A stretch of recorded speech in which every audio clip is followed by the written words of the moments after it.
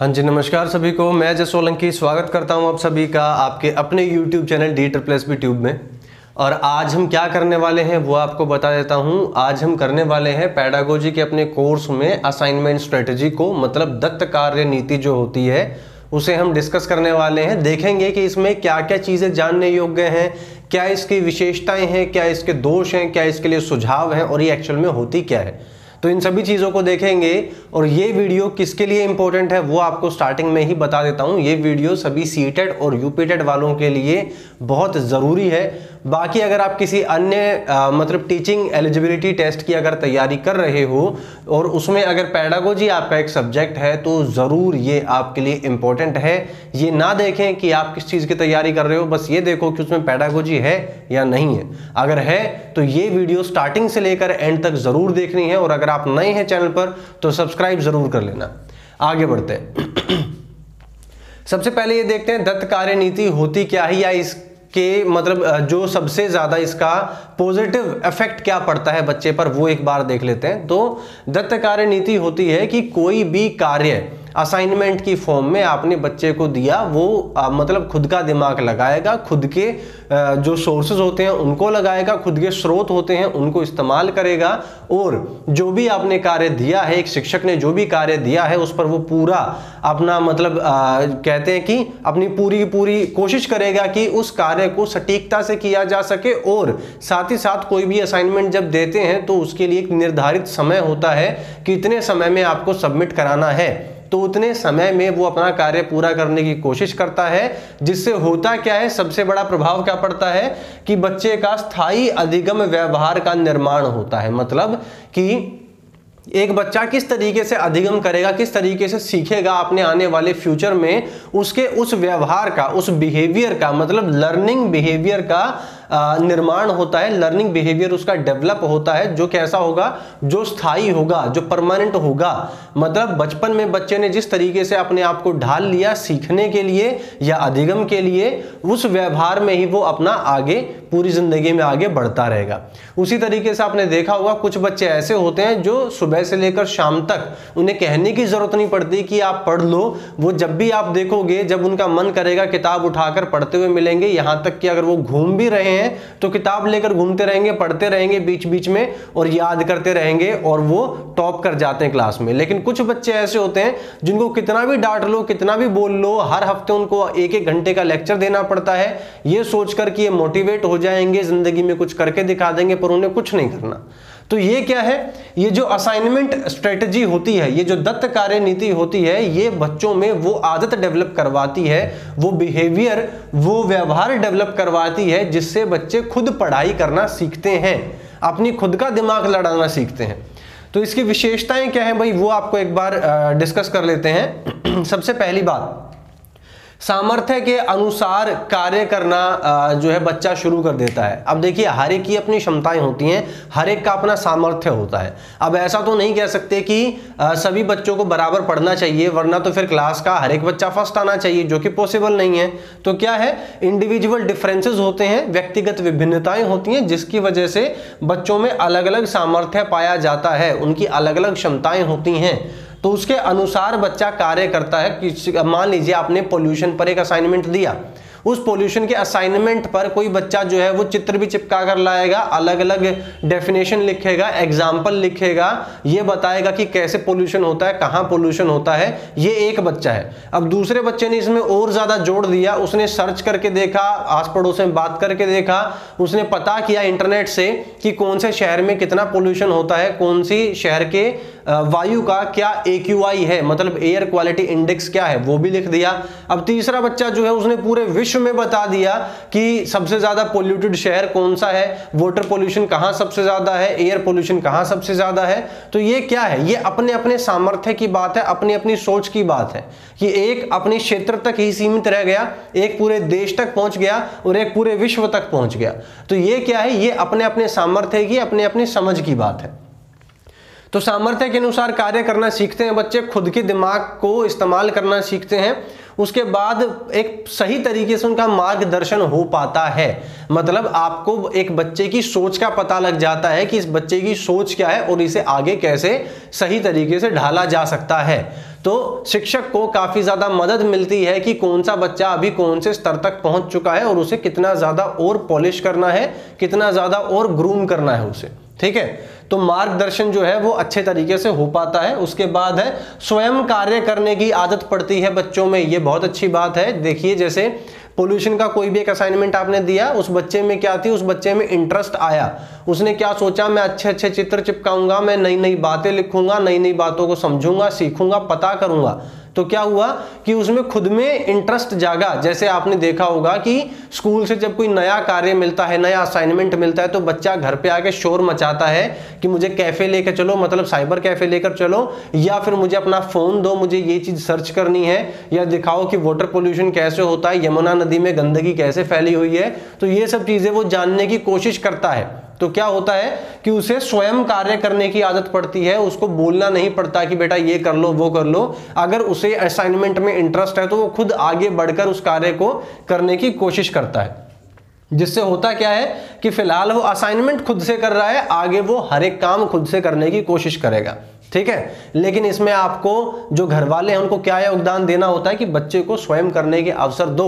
ऐसा नहीं कि मतलब बच्चे को कार्य मिला और जो कॉपी किताब है, वो खुद उठाकर बैठ गए कि हम करके देंगे, ये करके देंगे, वो करके देंगे, तुझे ज़्यादा नंबर दिलाएँगे। ये खेल ज़्यादा नंबर दिलाने का नहीं होता। ये बच्चे का व्यवहार बनाने का खेल होता है तो वो खेल उसी डायरेक्शन में जाने दो। खुद मत करके दो उसे, स्वयं करने दो, उसकी आदतों को डेवलप होने दो, तभी उसका स्थायी अधिगम व्यवहार का निर्माण हो पाएगा। अगर आगे चलकर वो बच्चा नहीं पढ़ा, ज़्यादा नंबर नहीं लेकर आया, अगर उसका ध्यान पढ़ाई से हटकर खेलों की तरफ़ चला गया तो उसके जिम्मेदार घर वाले होते हैं, वो बच्चा खुद नहीं होता। तो ये बात आपको थोड़ा सा ध्यान में रखनी पड़ेगी। आगे बढ़ते हैं। नेक्स्ट है भाई, व्यवहारिक कार्य है ये। जो आपका जो असाइनमेंट का होता है या जो दत्त कार्य होता है, वो क्या है? वो एक व्यवहारिक कार्य है। मतलब ये कि आप उसे खुद करके देखोगे मतलब कोई भी जो कार्य करने वाला होता है, उसे हम क्या कह सकते हैं? व्यवहारिक कार्य बोल सकते हैं। जो आप घर पर आने के बाद अपनी जो नॉर्मल लाइफ होती है, उसमें जुड़े रहकर जब आप कार्य करते हो तो उसे हम व्यवहारिक कार्य कर, कह सकते हैं। ठीक है? वो कार्य क्या होगा? वो आपके व्यवहार के साथ मतलब किस टाइप की आपकी सोच है, किस टाइप का आपका बिहेवियर है, क्या आप अपनी डेली लाइफ में करते हो, कितना खुद को एक्सप्लोर करते हो, कितनी अपनी क्षमताओं को और बढ़ाते हो, वो सुनिश्चित कर करता है, ठीक है? तो इसे हम व्यवहारिक कार्य बोल सकते हैं, इसे हम प्रैक्टिकल वर्क बोल सकते हैं, ठीक है? आगे बढ़ते हैं। नेक्स्ट है, विभिन्न पहलुओं का समावेश होता है। मतलब ये कि कोई भी असाइनमेंट आपको दिया गया, कोई भी दत्त कार्य आपको दिया गया, उसको करने के लिए आपको क्या करना पड़ेगा? अलग अलग कार्य करने पड़ेंगे। कभी आपको इंटरनेट पे सर्च करना पड़ेगा। कभी आपको जो समाचार पत्र होते हैं न्यूज़पेपर होते हैं, उनसे फ़ोटो जो है काटनी पड़ेंगी। कभी आपको अपने जो लोकल एरिया है, उसमें पूछताछ करनी पड़ेगी। तो ये सब चीज़ें क्या है? ये सब चीज़ें अलग अलग आपको इसमें स्किल मिलेगी। जैसे मान लीजिए, कोई एक बच्चा है जिसे इंटरनेट चलाना नहीं आता, लेकिन असाइनमेंट पूरा करना है तो उसे इंटरनेट यूज़ करना पड़ेगा। तो क्या हुआ? एक पहलू ये हुआ कि वो हाल फ़िलहाल के यंत्रों से अवगत होगा, ठीक है? उसके बाद समाचार पत्र, बच्चे कभी भी समाचार पत्रों में रुचि नहीं लेते, जब लेकिन उन्हें कार्य पड़ेगा तो वो समाचार पत्रों को खंगालेंगे, ढूंढेंगे, चित्र ढूंढेंगे चित्र ढूंढेंगे तो उन्हें ये पता चलेगा कि समाचार जो पत्र होते हैं, उनमें ये चीज़ें भी मिलती हैं। तो आगे चलकर उन्हें क्या होगा? समाचार पत्रों में भले ही वो कम समय दें, लेकिन वो कोशिश करेंगी समाचार पत्र को एक बार ज़रूर देखें। तो वो एक और अलग पहलू आ गया। उसके बाद क्या है? असाइनमेंट को बहुत ही साफ़, सुथरा, स्वच्छ बनाना पड़ता है। जो आपकी नॉर्मल कॉपी होती है, उसमें आप देखोगे कई बार कटिंग कर दी है आपने, कई बार मतलब साफ़ सुथरा कार्य नहीं है पेन बदल गए हैं आपके, कभी नीले कलर के पेन से लिख रहे थे, कभी काले से लिख रहे थे, कभी जेल पेन से लिख रहे थे, कभी बॉल पेन से लिख रहे थे मतलब वो स्वच्छता नहीं रहती। साफ़ सफ़ाई नहीं रहती। लेकिन असाइनमेंट जब आपको दिया जाता है तो आपको स्वच्छता का ध्यान भी रखना पड़ता है। तो असाइनमेंट बनाने के चक्कर में आपकी जो रियल लाइफ हैबिट्स हैं, जो आपकी असल ज़िंदगी की आदतें हैं, अपनी कॉपी को साफ़ सुथरा ना रखना, वो भी अपने आप बदल जाती हैं। और असाइनमेंट बनाते बनाते आपको खुद को पता नहीं चलता कि आप अपनी कॉपी किताबों को साफ़ सुथरा रखना कब स्टार्ट कर दोगे। तो ये क्या है? ये विभिन्न पहलुओं का समावेश हो जाता है उसमें। अब उसके बाद अगर इतनी सारी अच्छी बातें हैं तो कुछ क्या होंगे? कुछ दोष भी होंगे, कुछ कमियाँ भी होंगी। वो कमियाँ कौन सी हैं, वो एक बार देख लेते हैं। तो शिक्षक पर निर्देशन का भार काफ़ी ज़्यादा बढ़ जाता है। जैसे हर एक बच्चे की अपनी क्षमताएँ होती हैं, हर एक बच्चा अपने अलग तरीके से आगे बढ़ता है। तो हर एक बच्चे पर अलग अलग ध्यान रखना, ये क्या है? अलग अलग उसको निर्देश देना, ये शिक्षक पर काफ़ी ज़्यादा भारी पड़ता है। उसे ध्यान रखना पड़ता है कि कौन से बच्चे का क्या स्तर चल रहा है। क्योंकि बाकी तरीकों से शिक्षक क्या करता है, सभी बच्चों को एक सामान्य रूप से, एक समूह के रूप में ट्रीट करता है और उनको जितनी भी नॉलेज देनी होती है वो दे देता है। लेकिन इस विधि में क्या करना पड़ता है, हर एक बच्चा कौन से स्तर पर है, उसे उसी प्रकार से निर्देश देने पड़ते हैं। ठीक है?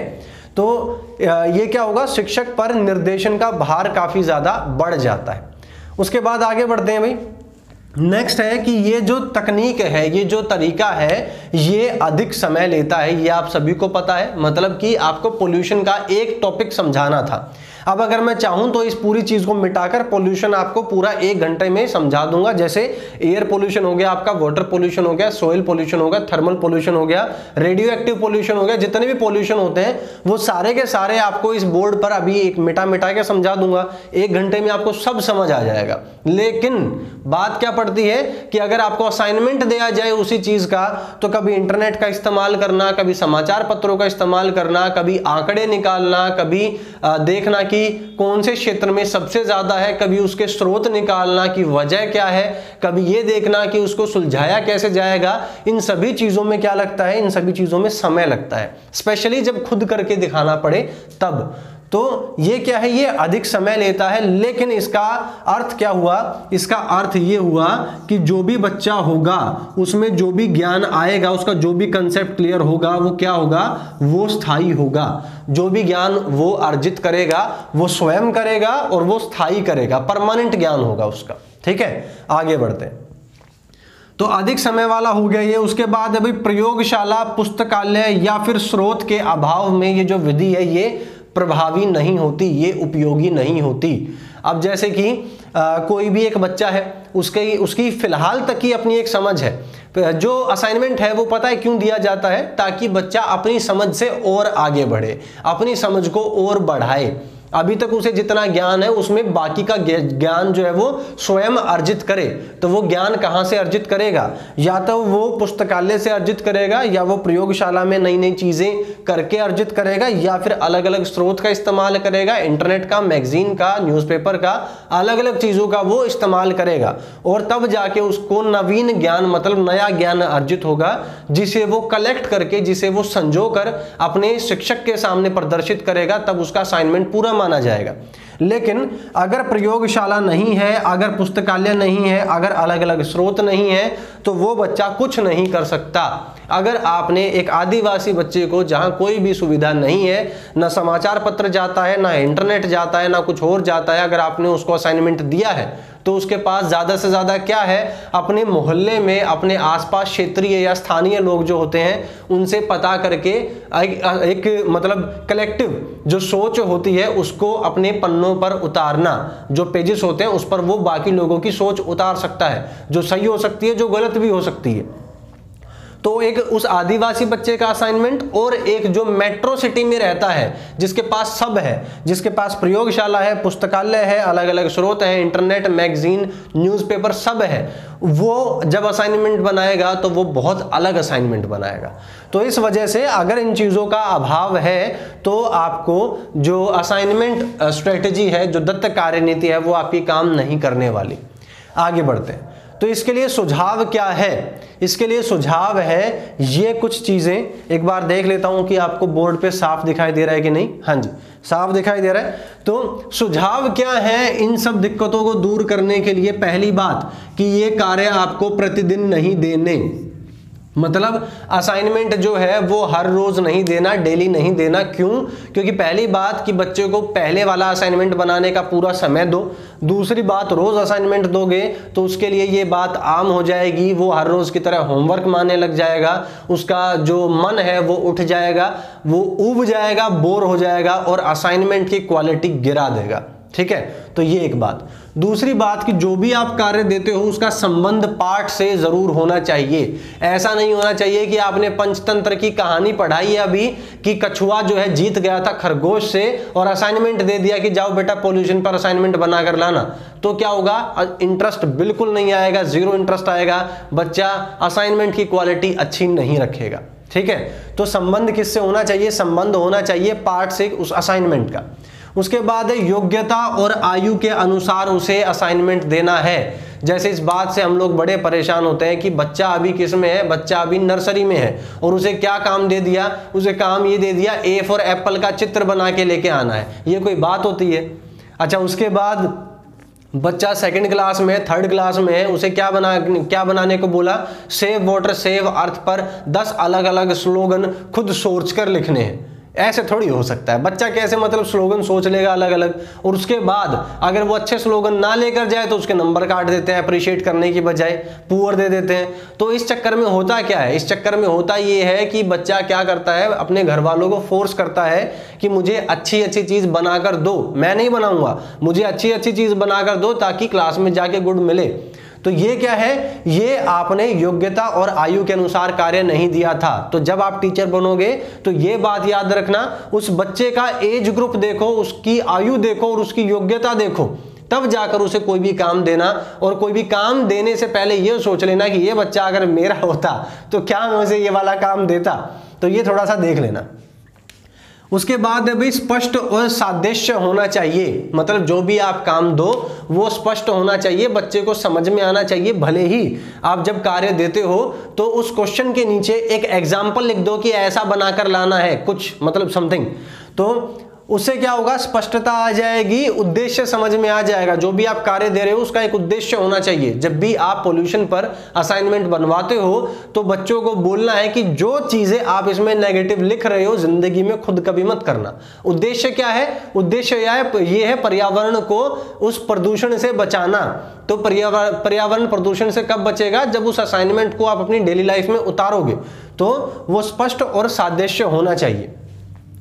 उसके बाद है भाई कि छात्र प्रेरित होने चाहिए काम करने के लिए। ऐसा नहीं है कि छात्र उदासीन हो जाए कि ये कोई बात होती है ये कैसा असाइनमेंट है? ये तो करने योग्य ही नहीं है। ये मतलब हमें क्या सिखाएगा या इससे हमें क्या सीखने को मिलता है? ऐसा कुछ नहीं ठीक है?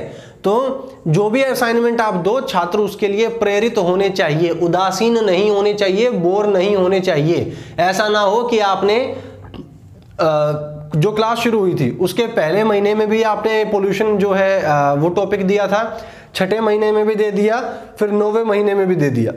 तो ये चीज़ें आपको नहीं करनी है। तो छात्र जो है, वो प्रेरित हो नई नई चीज़ें हो, आपको एक्साइटमेंट लेवल बढ़ाना है बच्चे का। जितना ज़्यादा एक्साइटमेंट लेवल उतना ज़्यादा बच्चा प्रेरित होगा और उतना ही ज़्यादा अच्छा असाइनमेंट बनाकर लाएगा।